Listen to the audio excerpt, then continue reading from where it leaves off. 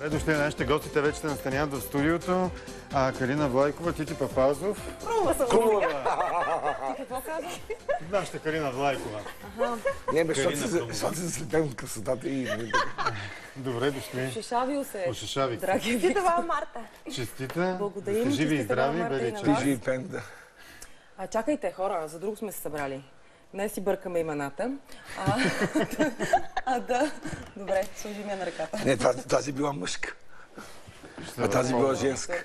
За да обявя темата, докато си разменяме мартениците. Ето, да си жива и здрава. Това е. Установихме, че това е единствен ден, в който феновете на Левски харесват червеното. Започвайте спора. Аз през това време ще ви закича и вас с мартеници. Добре, да Всъщност, кажем защо все пак сме ви е поканили? В а, а, Бургас ограничават скоростта в града на определени места до 35 км в час. И е, спора веднага възникна още вчера на така наречената наша планьорка, като обсъждаме темите и гостите за следващия ден. Едните казах, това е невероятно глупаво, това е тъпотия, в момента не се спазва и това, което е заложено като 50 км в час, 35 съвсем ще изнерви хората. Други казаха, браво, чудесно, так ще има повече глобени. Има места, на които не трябва да се кара с 40 км в час и с 50. 35 е, чудесно. Мисля, че вие сте така от двата лагера. Нали така? Ти ти Папазов, Не, аз съм като, като лош шофьор съм, не като двата лагера, защото превентивните мерки са много силни. Но нека да дадем думата първо на дамата, пък аз вече това ще Имам един репортаж, но да. Калина, кажете. Ами, на, на първо място трябва да кажем, че то си има такова понятие зона 30. И това е една от най-често потребяваните мерки в целия Европейски съюз за понижаване на, на, на пътните происшествия и за повишаване на пътната безопасност. Една от най-високо ефективните и най-низко бюджетните мерки. Така че това не е идея на Чичо Кмет. Просто в Бургас нещата много често се случват за първи път. Сега в България обаче за- не е Бургас и не е София. Так, да, обаче очевидно нещата ще бъдат въведени, но от Чичо Кмет тръгнаха нещата, така че сега Цеца Алексова ще ни разкаже тази поредна идея на Чичо Кмет. Зеленият сигнал ще е само за колите на градския транспорт. Останалите ще чакат средно с 10 секунди по-дълго. Какъв ще е ефектът? Това удължава времето за стигане до крайната точка. Ограничение табелки по транспортните боливари на Бургас с 35 км в час няма да се слага. Въпреки това, повечето шофьори са недоволни. Лято няма да се кара повече от 25 км, не 35. Защо? Ами, що спускането на тези нови бус ленти, лято като дойдат почиваше в Бургас. Вие смятате ли, няма може да се кара изобщо? Да не направят 25 по-добре. По-добре ще е за, за Бургас. Защо? То не го ли виждате града целия... Е, вижте го, не. Бус ленти, мост ленти. Неправителствени организации обаче обясняват, че тази практика отдавна се прилага в големите европейски градове. Навънка а, се използва един термин успокояване на скоростта на движение. Води не само до намаляне на пътно-транспортните происшествия, а и до намаляне на а, задръстванията 35 км в час. Какво означава на практика това за бургазлии? Правим прост експеримент. Часът е 11 часа и 8 минути. Сега ще проверим с 35 км в час за колко време ще стигнем до комплекс Меден Рудник. Избираме прав маршрут, който да ни позволи да караме бавно, защото новите светофари още не работят. Разстоянието от първото колело на Бургас до първата бензиностанция в най-отдалечения комплекс Меден Рудник взехме за 17 минути при средна скорост от 35 км в час. Връщаме се по същия маршрут. Спазвайки всички действащи в момента ограничения, разстоянието от 9 км на връщане изминахме точно за 12 минути. Сверяваме резултата си с този на общината. Те са направили електронен тест и са получили същите стойности. 5 минути по-дълго време за пътуване. А, Цеца, сигурно, Цеца Алексова сигурно още се прибира след този репортаж към тях с тази Карайки с скорост. 35 км. Карайки с тази скорост, да коментираме сериозно за или против. Би ли проработило това, например, и в София? Ще се, а, ние се смеем, но имаше достатъчно наброй трагедии и на пешеходни пътеки в това число. А, би ли било решение 35 км в час и по големите булеварди ли също? Щом е решение за цел Европейски съюз и не само за Европейския съюз, най-вероятно би трябвало и ще бъде решение за България, но това не трябва да се случва на ниво община, това трябва да се случи на национално равнище и доколкото на мен ми е известно, в момента такива разпоредби се разписват на първо място. На второ ли място, е нека да, не се, нека да не се спекулира, защото нито на булевард България или Цариградско шосе в София, нито на големите булеварди, някой нормален човек ще кара с 30 или 35 км в час. Става въпрос за жилищните зони, които по принцип и по дефиниции не трябва да се преминават, да се използват за транзитен трафик. Те се използват за да могат а, децата е ни да жилищна зона? преминават. Сега, примерно в центъра, Комплексите. уличките малките, жилищна зона ли са или не жилищна? А, това е дискусия, която със сигурност ще бъде обществено повдигната и ще бъде много широка. Става просто за местата, където играят децата ни, където би трябвало да преминават хора инвалиди, където има пазари, търговски обекти и така нататък. Ние самите всички мислят, че сме шофьори. С колко караме в а, жилищните комплекси? Ние не караме с 50, 60, 70. Всеки 40 човек кара бавно. Ти? Пак там някъде. Какво мислиш? Моето лично мнение е, че а, като човек, който със сигурност на света има хора всякакви и има хора с косури. Моя косур е, че карам лудо. Хулиган на пътя, така? Да, хулиган на пътя със сигурност. Мисля, че карам добре, мисля, че карам добре, но това нищо не значи. Една бела цял живот. Мислих си, като се готвих за предаването, психологията на престъпника. Човек, който е престъпник и направи престъпление, той знае, че ходи по ръба на острието. Ако успее да надхитри правосъдието, успява. Но ако бъде осъден, то осъден и знае, че е сбъркал. Представете си как се чувстват тези хора, които не са престъпници, а са причинили смърт. Цял живот това им тежи на съвестта. Променя им се цялото житие и битие и ако се замислиме, сигурно те съжаляват за момент, когато около някоя пешеходна пътека липсата на дисциплина в нашата демокрация е в основата на проблемите в държавата. Какви са начините? Демокрацията доведе до свобода, която се превърна в свободия. Когато има ясни правила, каквито се опитват да въведат в а, Бургас, те ще имат своето за и против, безспомощно, защото света за това е интересен, да Добре ли е конкретно тази идея? Сега като кажеш правила, то си има правило и за 50 км Да, опит... момента това, е един, това е един експеримент, който ще се прави в отделен квартал. А, оказа се, че 5 минути е разликата, го караш по правилата на сегашните условия на километрите или на нововведените. Представете ли си, аз сега бях две седмици в Америка, там има много ясни правила и това помага. Да, много са скъпи и големи глобите. И това е също превентивна мярка да не се случват лошите неща. В, ти ли шофираше в Америка? Шофирах и се изнервих жестоко. Не, шофираше от госпожата до мене и казах слез.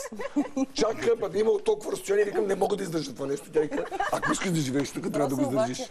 а, там, И ти знаете, че са много солени глобите и че веднага ще бъдеш глобен. Възпираше ли Е, те нещо, не, не. за разлика от България, където... Не, Е, български, шофьор е без налог. Българският шофьор е без СНО категорично. Аз карам много в Истанбул, защото имам много близък човек, който хода почти всяка седмица.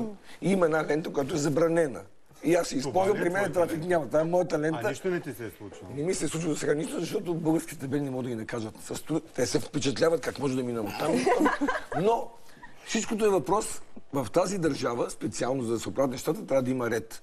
И сега едно добро Не, не, не, начинание. освен ред трябва да има и контрол. Окей, за контрол. всички, а не за всички, да, за да. другите, за тип не, не, не, естествено, мисълта ми е такава, че ако трябва да бъдем чисто, да мислиме така психологически, най-възприемчиво би трябвало да бъде в въвеждане на такава инициатива в Бургас, където кметът е много долюбван. Кметът е избран с много, значи тези хора... Кмет, който не е по-малко хейт, Да. казваш. Не, по-малко, защото той, като го каже той, значи този кмет, като каже дайте да опитаме това, се приема по-добре, защото те го обичат. Честно казано, звучи много малко 35 км в час, но вчера и колеги а, Ама не е толкова... на- погледнали, че средната им скорост, автомобилите понякога имат тази Да, скорост на има. дисплея, всъщност В града пада до сега 26. без ограничения заради задръствания, заради спиране, заради изчакване на човек от дясно с предимство. Всъщност а, средната скорост понякога е 36, 40 в града, 26-27 даже градуса, по-малко. а, двай- между 26 и 28 км в час. Реално, средната Аз, който карам лошо, ви гарантирам в София. Средна скорост има. Да, само че истината, че за пътно-транспортните происшествия това е от изключително значение, защото статистиката сочи, че ако, а, ако един пешеходец или велосипедист, ако един участник на пътя, не с автомобил, бъде ударен с 30 км в час, каквото ограничението, Да. това ще бъде все едно, а, все, все едно е паднал 3 метра и половина. Ние, и Димитрова, има експеримент по темата, Да. за това, за което говориш и, и възможността за телесни повреди е ниски, а, слаби телесни повреди. при 50 км в Много час, все едно падаш от 10 метра и възможността за фатален край или те, Е тежката лесна Да видим повреда. експеримента случаи, на да, Ляд. Димитрова ще ви бъде интересно. А, Той всъщност демонстрира нагледно точно това, за което говори Калина. Калина Крумова. движение с 50 км в час и внезапно излиза препятствие. В случая пешеходец. Нещата обаче се променят при скорост от 70 км в час. Какви са шансовете на този човек в този момент, ако го ударим с тази Зависи скорост? много от реакцията на шофьора. Ако успее да отреагира на време и да, да натисне спирачка, както ние успяхме да натиснеме, шансовете му са значителни.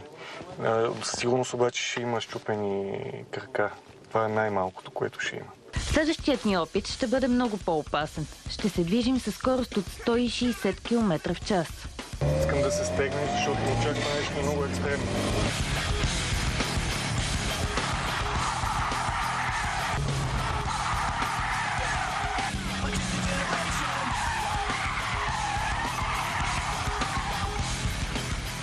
Ние пак спасихме пешеходеца, обаче какво се случва Обаче с нас? с нас е много тежко положението, защото когато на пътя стане нещо такова, има канавки. В момента, в който автомобила забие в канавката, започва да се преобръща. Освен това, има дървета, билборди, стълбове.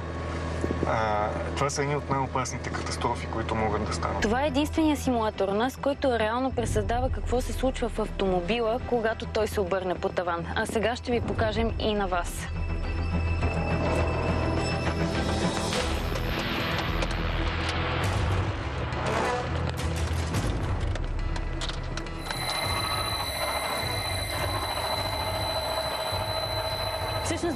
Какво се случва, когато ние сме с колани и колата се преобръща. Реално те ни задържат, за да не се размажем вътре в нея. А коланите на задните седалки не са по-малко важни. Ето какво става, когато се ударим челно с 50 км в час. А зад нас има човек без колан.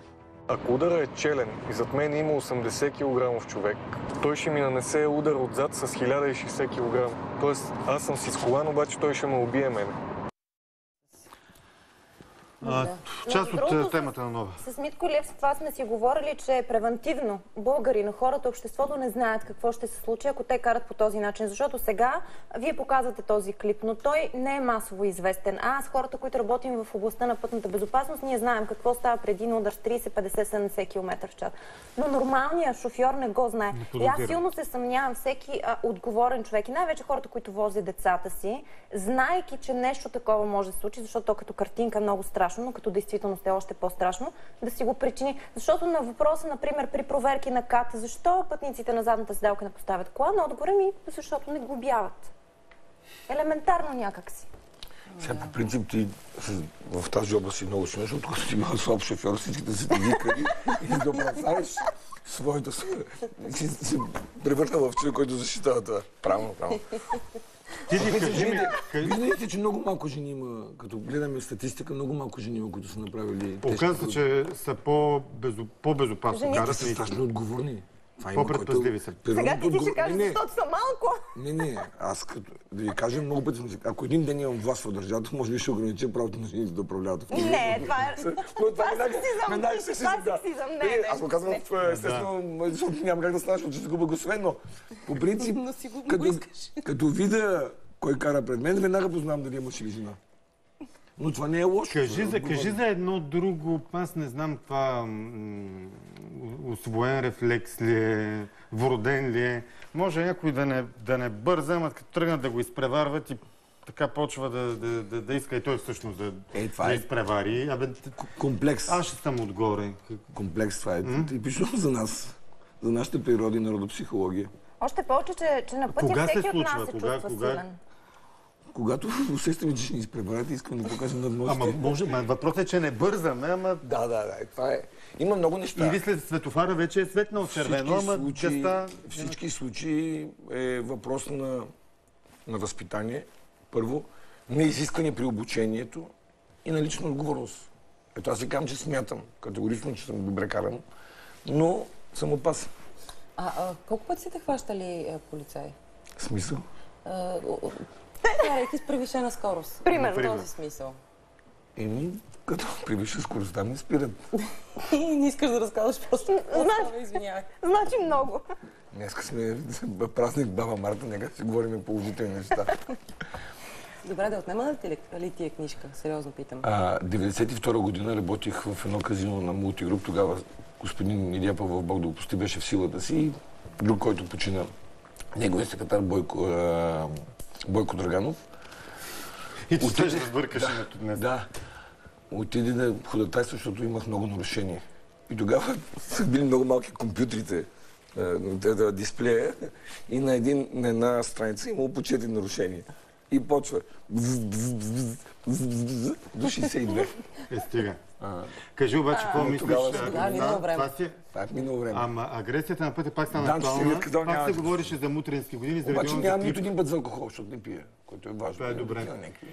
Имате ли, някакви- имате ли какъв коментар на цялата тази история от 5-6 дни? Дъвчем се оказа, че Украина иска един от биячите на околовръстното, защото и други прегрешения му намериха и може да се окаже, че боя, който а, беше заснет от жената на, на битие, може да е най-малката грижа на един от участниците в този бой, но Не, аз само агресията на пътя въпрос. и това, Има. връща ли се отново някаква мода да се ходиш в, в колата с кози крак, с лопата и какво ли не? Смятам, че този случай ще бъде доста показателен за бъдеще и това ще бъде със сигурност катализатор на нещата да се нормализират. Възпиращ ефект. Като, категорично. А, аз съм убеден, че тези хора не искам да бъдат техни защитник. Ако бяха самички в колата, никой нямаше да бъде постъпа така. Тяхната енергия идва от това, че са повече. Прави ми силно впечатление как се опитват да затворят очите на цялото общество, че този ги е нападнал. Добре, умело го вършат. И не мога си представя, ако имат претенции, че са тарикати, да допуснат да бъдат снимани. И те виждат, че са снимани, да остане това на... Значи това да... Поредица от грешки. Поредица от Къде грешки, но крайна кащата А, аз бих призовала относно а, този въпрос, който се повдига, наистина да стане една обществена дискусия, защото има нужда от такава на първо място. На второ място трябва да си припомним времето, в което а, навлезе слагането на коланите, на предните седалки от страна на шофьора. Това е мярка, която да, на много хора няма да им е удобна и всичко останало. Е, Но, тя на първо място е залегнала в стратегията на Европейския съюз за пътна безопасност 2011-2020. На второ място, само в Великобритания от въвеждането на тази мярка пътните инциденти и, и травматизма при пешеходците намалява с 40%.